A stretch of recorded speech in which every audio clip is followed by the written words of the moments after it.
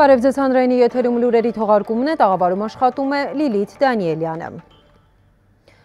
Արդեն երորդ օրն է խորհրդարանը քննարկում է կառավարության ծրագրի 2020 թվականի կատարման ընթացքի եւ արդյունքների վերաբերյալ զեկույցը։ Այսօր նիստը մեկնարկել է падգամավորների ելույթներով։ Դրանց հիմնական մասը իմ քայլի падգամավորները նվիրել են հետպատերազմյան շրջանում իշխանության ուղղված քննադատություններին, անդրադարձել մեղադրանքներին, որոնք հնչում են կառավարող ուժի հասցեին։ Ընդդիմադիր խմբակցություններից քննարկմանը ներկա լուսավոր Հայաստանի համոզմամբ պատերազմի եւ այժմ երկրում ստեղծված իրավիճակի միակ պատասխանատուն իշխանությունն է։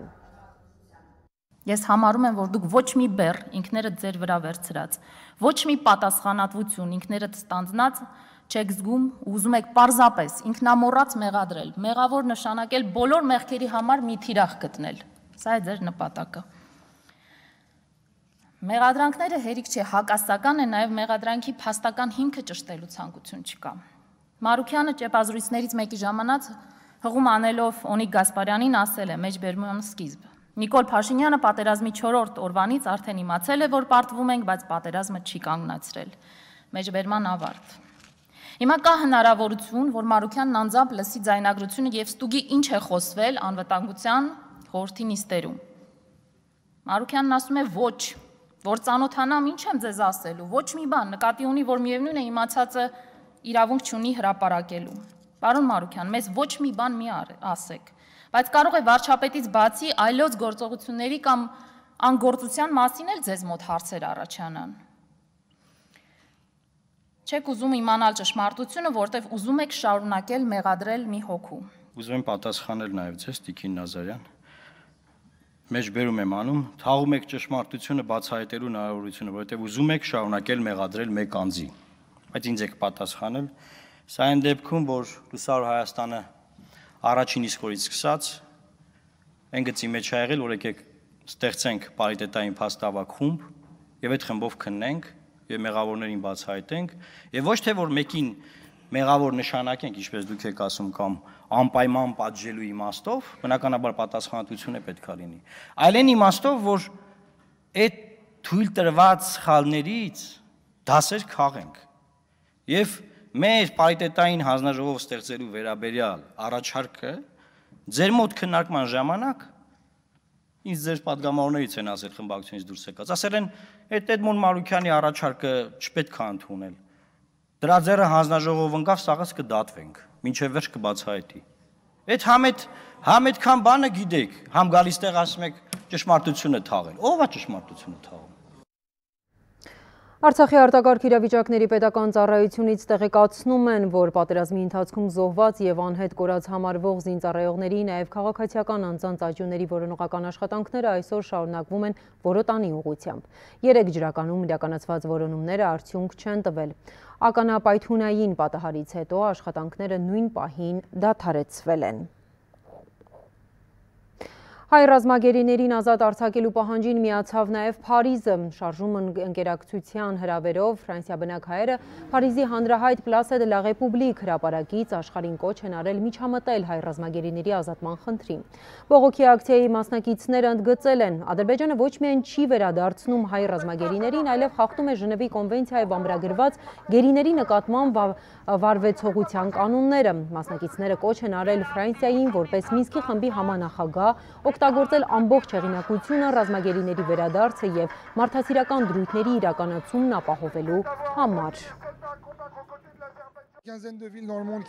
Տասնյակ քաղաքներում անցկացվում է ակցիա, որի նպատակն է լսելի դարձնել մեր ձայնը եւ ուշադրությունը ուղղել հայ ռազմագերիների հարցին։ Ադրբեջանը շարունակում է իր ցեղասպանական նկարտումները։ Դրա ապացույցն է Բաքվի սանձազերծած պատերազմը։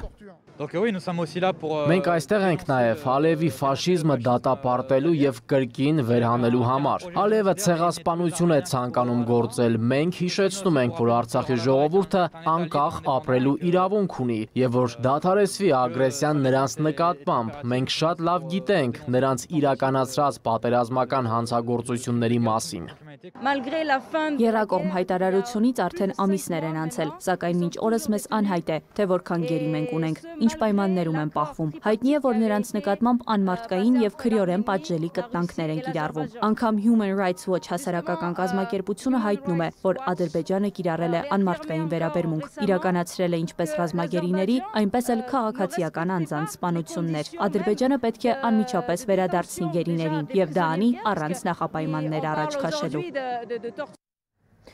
ԱՄՆ վարչակազմում կարծում են, որ Աֆղանստանից ամերիկյան զորքի դուրսբերումից հետո Վաշինգտոնը հիմնական ուշադրությունը կկենտրոնացնի հնդկախաղաղ օվկիանոսյան տարածաշրջանի վրա։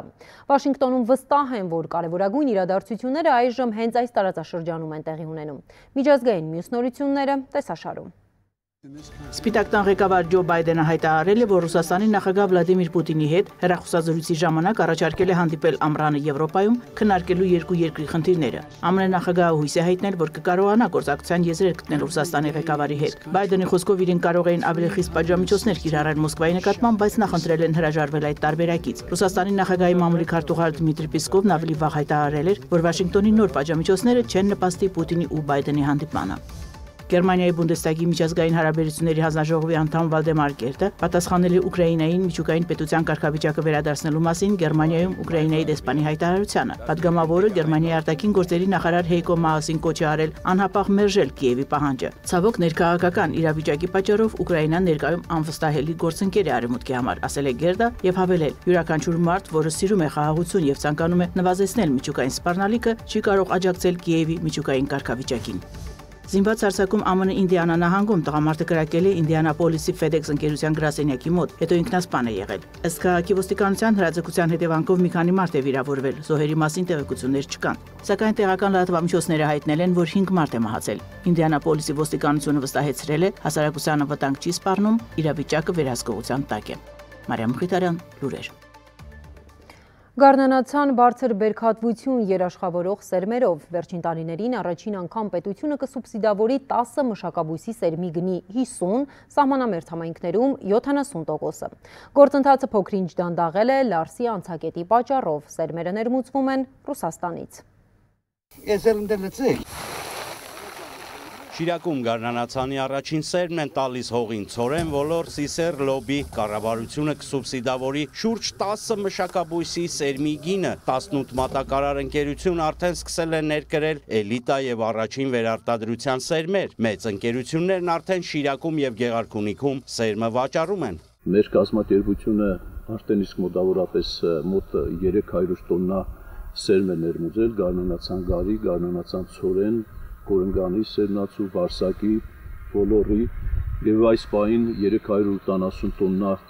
արդեն պլանավորած մեքենաները բարձված գտնվում են ճանապարհին։ Կարծում եմ սերմի դեֆիցիտ չկա, չի լինելու Մատակարարների առաջ գնի հարցում խիստ պահանջ է դրված։ Օրինակ, ծորենի առաջին վերարտադրության եւ էլիտա սերմի կիլոգրամը պետք է վաճառեն ոչ ավելի քան 240-280 դրամ, սակայն ֆերմերները կվճարեն համապատասխանաբար 120-140, սահմանամերձ բնակավայրերում 80 եւ 90 դրամ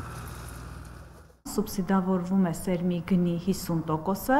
իսկ սահմանամերձ ծրագրով սահմանված սահմանամերձ բնակավայրերում ցանկ կատարելու դեպքում այդ դեպքում կտրամադրվի սուբսիդավորվի սերմի արժեքի 70%-ը։ Կատարվել է շուկայական գների վերլուծություն եւ սահմանվել են գներ, ըստ որի մատակարարները պետք է վաճառքը իրականացնեն միայն կառավարության որոշմամբ սահմանված գնով։ Անցած աշնանացանին սուբսիդավորվեց միայն ծորենի գինը, ավելի քան 4000 տոննա, թե որքան կցանեն այս տարի ոլորտի պատասխանատուները դժվարանում են ասել։ Գործընթացը դեռ նոր է սկսվել։ Մատակարարումը դանդաղեց, քանի որ Լարսի անցակետը անբարենպաստ եղանակով պայմանավորված հաճախ փակվում է խնդիրը կարծես թե լուծվել է եւ սերմացուն մատակարարվում է գյուղացիական տնտեսություններին։ Շիրակի մարզում հիմա եղած ցածր բերքատվություն ունեցող սերմը վաճառում են որպես անասնակեր։ Մարտիկ նախընտրում են նոր ներկրվածն ու բարձրորակը։ Վահե Կոստանդյան, Քրիստինե Մկրչյան, Ռոմիկ Խաչատրյան, Մարտին Գևորքյան, լուրեր։ Այժմ կորոնաթվերի մասին Հայաստանում հաստատվել է կորոնավիրուսով վարակման 961 նոր դեպք 5870 թեստից։ Վարակվածների ընդհանուր թիվը հասել է 207103-ի։ Առ այսօր արվել է 926293 թեստ։ Կորոնավիրուսի հետևանքով մահացել է 18 քաղաքացի։ Մահացածների թիվը 3835 է։ Գրանցվել է կորոնավիրուսով վարակվածների այլ հիվանդությունից մահվան 5 դեպք։ Նման դեպքերի թիվը 969 է։ Մեկ օրում առողջացածների թիվը 1075 է, ընդհանուր առողջացածներինը 186200, փաստացի բուժվողներինը 16099։ Վանաձորի Աբելյանի անվան դրամատիկականի ներկայացումները հետաձգվել են թատրոնում կովիդի բրնկում է։ Ճիշտ է համաճարակային բոլոր կանոնները պահպանվել են, բայց ամբողջությամբ իրավիճակը վերահասկել թատրոնում հնարավոր չի եղել։ Վանաձորի Հովանես Աբելյանի անվան պետական դրամատիկական թատրոնի վարագույրները միառժամանակ փակ կլինեն։ Թատրոնի միջանցքներում կրկին լռություն է։ Անձնակազմի շուրջ 1/10-ը վարակվել է COVID-19-ով։ Քանի որ կորոնավիրուսի բռնկումը վերջին շրջանում ավելացավ եւ մարզում գրանցվեց բավականին մեծ թվով հիվանդացածության աճ, արտահայտվեց նաև թատրոնում եւ կարծում եմ մարտի 29-ից մեր որոշումը ներկայացումները հետաձգելու բավականին ճիշտ որոշում էր։ Հետաձգված են մինչև ապրիլի 16-ը հայտարարված բոլոր ներկայացումները, ընդհանուր 7 ներկայացում։ Պատերազմից ու Քովիդի առաջին բռնկումից հետո թատրոնում հասցրեցին խաղալ շուրջ 30 ներկայացում։ Տնօրենի հավաստմամբ պահպանել են հակահամաճարակային բոլոր կանոնները։ 100%-անոց դահլիճ երբեք չեն ունեցել։ Որևէ դեպքում մենք 100%-անոց դահլիճ չենք վաճառել ամենայն պատասխանատվությամբ հայտարարում եմ 100%-ով դահլիճ չի վաճառվել։ Մենք նույն ներկայացումը դրել ենք մի քանի անգամ, որպիսի բոլոր ցանկացողները կարողանան իրենց մշակութային պահանջմունքները թատրոնի հետ կապված բավարարել։ Հակահամաճարակային կանոնները պահպանվել են, թե ոչ ստուգել են առողջապահական եւ աշխատանքի տեսչական մարմնի հյուսիսային տարածքային կենտրոնի աշխատակիցները, ըստ մասնագետի թերություններ չեն գրանցել։ Մինչև թատրոնի փակվելը եւ թատրոնի փակվելուց հետո մեր աշխատողների, մեր աշխատակիցների կողմից իրականացվել են մշտադիտարկումներ։ Այնտեղ հակահամաճարական միջոցառումները, պահանջները պահպանված են եղել։ Չնայած առանց դիմակի մուտքի արգելքին, այնուամենայնիվ հանդիսատեսը երբեմն դիմակ չի կրել։ Թատրոնի տնօրենը վստահեցնում է, հսկիչը այս հարցում խիստ է եղել, բայց եւ շեշտում ներկայացման ընթացքում մարդկանց վերահսկել չեն կարող բնականաբար կարող է գտնվել նաև անկարգապահ հանդիսատես եւ յուրաքանչյուրին անհատապես հսկել, այս դեպքում արդեն խելամիտ չէ։ Հանդիսատեսը նես է մտնում հնարավոր է չկրի դիմակ, տնօրինությունն էլ դե խիստ պիտի լինել էլի ընդհանրապես։ Թատրոնի անձնակազմը այս պահին ինքնամեկուսացված է։ Տնօրենի խոսքով դերասանների վիճակը լավ է։ Հիվանդանոցային պայմաններում բուժում ստացող միայն երկու հոգի կա։ Անհանգստացնող միակ բանը սահմանափակումներն են, որոնց կրկին ստիպված են բախվել։ Իդեպ, մինչև հաջորդ ներկայացում թատրոնի շենքը այնը ամբողջությամբ կախտահանի։ Տաթև Հակոբյան, Կորյուն Ասլանյան, լուրերի համար։ Այսօր նշվում է հայ կինոյի օրը, ամսաթիվը պատահական չէ, 1923 թվականի հենց այսօրն է ստեղծվել պետկինոն և երկու տարի անց նայերի կինոթատրոնում ցուցադրվել առաջին լիամետրաժ հայկական ֆիլմը Համո Բեկնազարյանի նամուսը։ 23-3-1 Զուլալիի նկարահանումներն ավարտվեցին պատերազմի մեկնարկից 10 օր առաջ։ Ֆիլմը հետարտադրական ձայնի եւ գույնի մշակման փուլում է։ Հայ Կորձյանի լիամետրաժ ֆիլմը բարդ ճանապարհ անցավ։ Նախ համավարակը, ֆինանսական դժվարությունները, հետո պատերազմը։ Ռեժիսորն ասում է, թունելի վերջում լույսն արդեն երևում է։ Հայաստանի հանրային հեռուստաընկերության եւ ազգային կինոկենտրոնի համատեղ ֆինանսավորմամբ 90 րոպեանոց ֆիլմին սպասվում է եվրոպական, ասիական եւ ամերիկյան փառատոնային երկար ճանապարհ։ Այդ խնդիրներից ելնելով է, որ հիմա չեմ կարողանում կոնկրետ օր եւ ժամ ասել, բայց կարծում եմ, որ մենք այս տարի իհարկե Զուլալին կտեսնենք մեծ էկրաններ։ Վերջացավ! Մինչև Զուլալի մեծ էկրան բարձրանալը ապրիլի 16-ին Հայ կինոյի օր ազգային կինոկենտրոնը նախատեսել է միջոցառումների համալիր ծրագիր։ Խորհրդարանը 2019-ին տոների եւ հիշատակների մասին օրենքում լրացումներ կատարեց, ապրիլի 16-ը դարձնելով Հայ կինոյի օր։ Բարի, ինչու է այնպես, որ ես քո ուսերին եմ նստում քո ուսերին էլ կնստեն։ Մենք կոչ արեցինք բոլոր կինոթատրոններին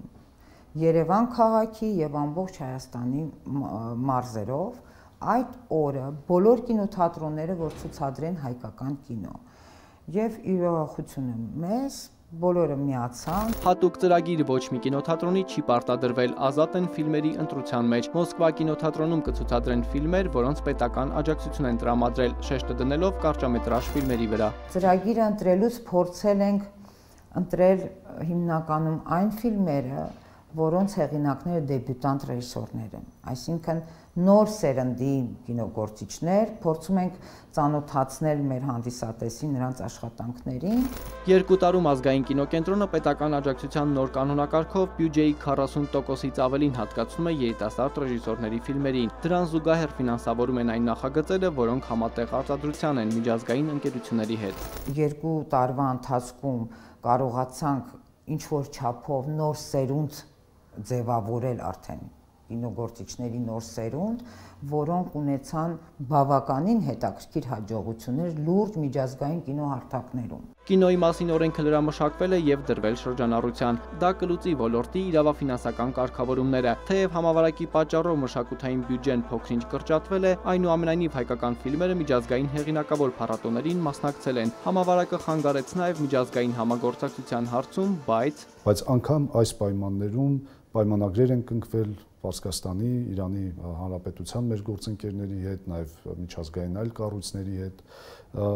անկախ սահմանափակումներից մենք կարողացանք չընդհատել Ոսկե Ծիրանի մեր ամենահեղինակավոր կինոփառատոնի պատմությունը Խնդիրներով եւ հաջողություններով հանդերձ հայ կինոյի օրվան նախորդին ազգային կինոկենտրոնը on-line հարթակում կկազմակերպի հանդիպում Հայաստանի եւ Սփյուռքի կինոգործիչների հետ։ Հարթակին կմիանան Ատոմ Էգոյանը Կանադայից, Ջուլի Փարատյանը, Նորա Մարտիրոսյանը Ֆրանսիայից, Նորիկ Քեշիշյանը Գերմանիայից, Անահիտ Աբատը Իրանից։ Իսկ ապրիլի 17-ից ամեն շաբաթ եւ Կիրակի մշտական ծրագրով մեծ էկրաններին կլինեն ցուցադրություններ փոքրերի համար՝ հին ու նոր հայկական մուլտֆիլմեր։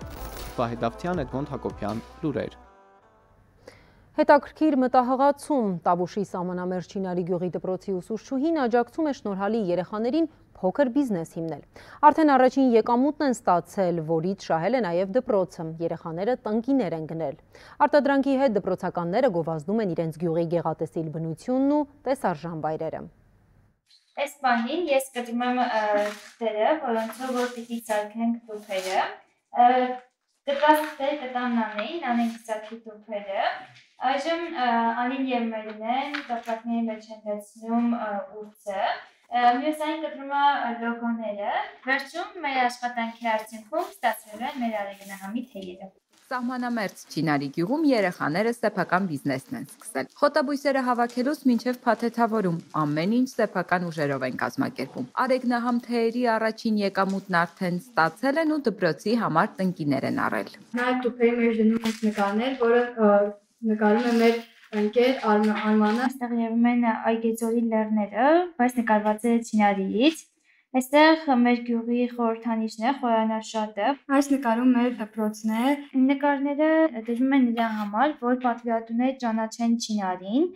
Արեգնահամթեյը Չինարիի միակ բրենդը չէ, փոքրիկ գործարարների համար Չինարի արտեջանշանների եւ Չինարես ծերագործ աշխատանքների բիզնեսները մրցակիցներ չեն։ Հիմա 16 պատվեր ունեմ, 8-ը վաճառել եմ։ Նոր թիլեր հա կգնեմ, բայց քանի որ ջութակ եմ գնում, ուզում եմ գումարը հավաքեմ ու ջութակ արտեմ։ Մեր բիզնես նախաձեռնությունը արդեն 3 ամսվա կյանք ունի ու այս 3 ամիսների ընթացքում մենք արդեն 50-ից 100 էջանոճան ենք վաճառել ու մոտավորապես 50000 շահույթ ենք ունեցել։ Հոբիներն ու տաղանդները նաև եկամտի աղբյուր դարձնելու միտքը Չինարիի միջնակարգ դպրոցի ուսուցչուհի Մայրամ Գրիգորյանինն է։ Ասում է, սարքավորումներ եւ նյութեր ձեռք բերելուց հետո երեխաները սկսել են հարյուրավոր պատվերներ ստանալ ինչու հնարավոր գյուղերում չունենանք մենք նման նախաձեռնություններ։ Իսկ եթե ունենք ստեղծարար միտք, պետք է հնարավորություն տալ եւ ներուժը օգտագործել որպես գեղեցիկ գործեր ստեղծելու համար։ Երեխաները բիզնեսի համար անհրաժեշտ գիտելիք են ձեռք բերում։ Օրինակ, ինչպես նամակագրություն վարել, ինչպես վաճառքն իրականացնել, փոստային առաքման հմտություններ։ Իրականում մենք սա համարում ենք ոչ ֆորմալ կրթության ձև։ Կրթություն դպրոցից դուրս, սրանով մենք ավելի ենք ճանաչում միմյանց, ինչպես նաև մեր գյուղն ենք ներկայացնում հանրությանը։ Սեփական բիզնեսը նաև մտածելակերպի փոփոխություններ իրականացնելու միջոց են դիտարկում, որ սահմանապահ Չինարի գյուղի մասին լսելիս մարդիկ առաջինը կրակոցների ու թշնամու մասին չմտածեն։ Լիլիթ Սերքսյան, Շուշանիկ Մարկոսյան, Դուրեր։